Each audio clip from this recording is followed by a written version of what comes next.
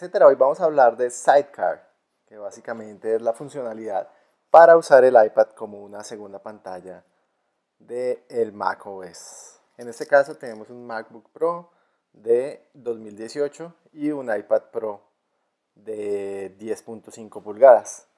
Como pueden ver, tiene iPadOS y lo que vamos a hacer ahora es conectarla como si fuera una segunda pantalla de este Mac. Para esto podemos usar AirPlay, y acá la vemos, o podemos ir al menú de configuración, a la opción de Sidecar.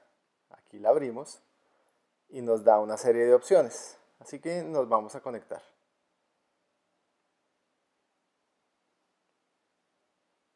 Y fíjense, ya aparece como una segunda pantalla.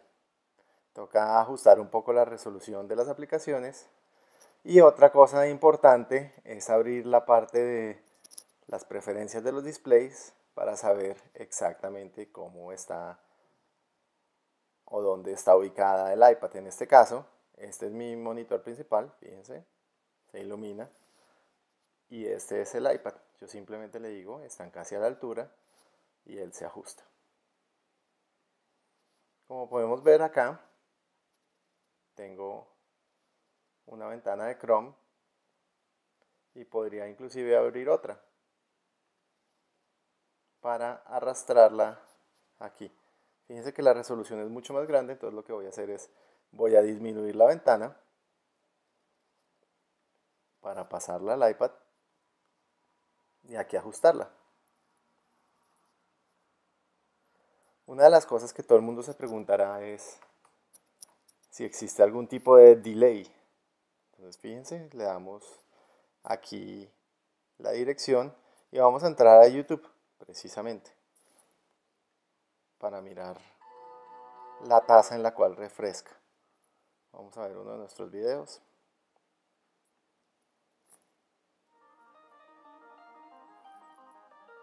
Y en general parece funcionar muy bien. Aquí tenemos una serie de mandos táctiles, por ejemplo, para sacar el menú y demás. Inclusive acá me puedo desconectar si quiero, desde aquí, donde dice desconectar, o desde acá. En este caso no lo vamos a hacer, pero vamos básicamente a parar este video. Ya pudimos ver que efectivamente no hay mucho delay. Y vamos a abrir otra aplicación, por ejemplo Photoshop. Fíjense, el mando de respuesta es bastante rápido. Obviamente tenemos que tener en cuenta que acá el menú nos va a quitar un espacio en pantalla. Puedo decirle que, que muestre o no muestre la barra. Si se fijan aquí aparece. Y le digo, quítela. Ya no la muestra la barra de navegación. Y existen otra serie de opciones. Para eso vamos a abrir nuevamente las opciones de pantalla de Sidecar. Entonces le puedo decir que el menú aparezca en la izquierda, que aparezca en la derecha y aquí lo que va a hacer es, lo va a mover, que no muestre el touch bar, lo vamos a quitar, se demora un poquito en refrescar, ¿Sí bien? nos lo quitó y pues obviamente las pantallas tienden a desorganizarse un poco, entonces voy a volverlo a dejar.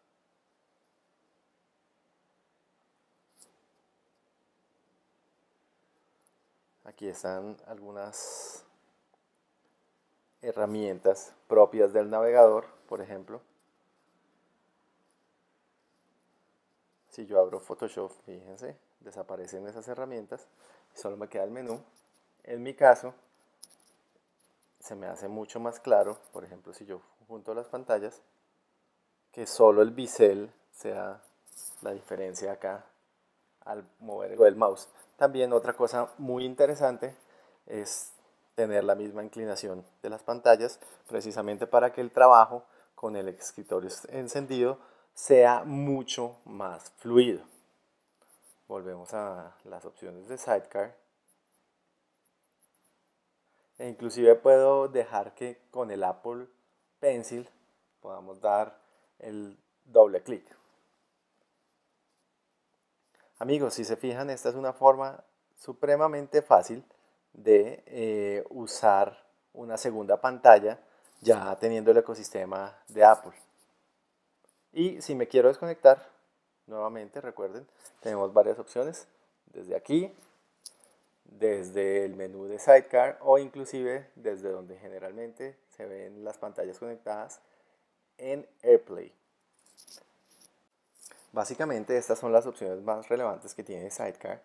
Y como podemos ver, esta es la explicación de los iconos del menú en donde dependiendo si yo le doy tap me lo muestra o no me lo muestra, el command que sirve para algunas opciones muy específicas, igual que el option el control y el shift, acá me puedo devolver, fíjense, puedo decirle que deshaga la acción que hice, en este caso pues no me he movido gran cosa, entonces no hay problema, que me muestre el teclado en pantalla o que se desconecte como segunda pantalla. Ahora, una de las cosas que todo el mundo se puede estar preguntando, fíjense que estamos conectándolo sin cable, pero puede que el iPad se quede sin energía. Entonces lo que hacemos es conectarlo directamente al Mac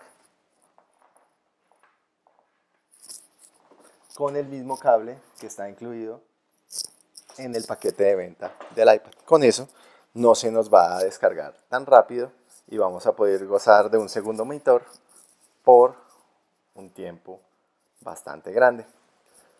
Ahora bien, dado el estreno de Apple TV Plus, también puedo, por ejemplo, usar mi iPad para ver una película y, aunque no es la mejor práctica, conectarme a mi Mac y seguir trabajando un rato o por lo menos seguir viendo contenido.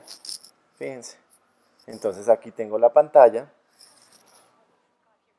Como estoy manejando el táctil desde el iPad y el escritorio desde el trackpad o teclado. Fíjense.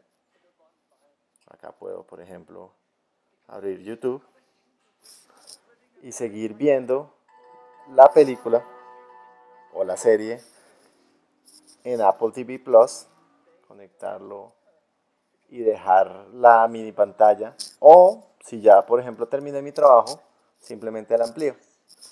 Muchos se pierden en este punto porque no saben cómo volver a visualizar el escritorio. Recuerden que esto es como si fuera una aplicación, el Sidecar. Entonces, simplemente lo abro y aquí ya estoy nuevamente con mi escritorio extendido y la película no se ha ido. Sigue acá, la puedo dejar en diferentes partes de la pantalla, inclusive aquí la minimicé y puedo seguir produciendo sin ningún problema. Tengo mi Photoshop, sigo eh, aquí editando, cambiando, optimizando, haciendo todo lo que necesito mientras la película sigue en streaming. Si me estoy perdiendo de algo, básicamente la amplío y listo. Bueno amigos, esto ha sido todo.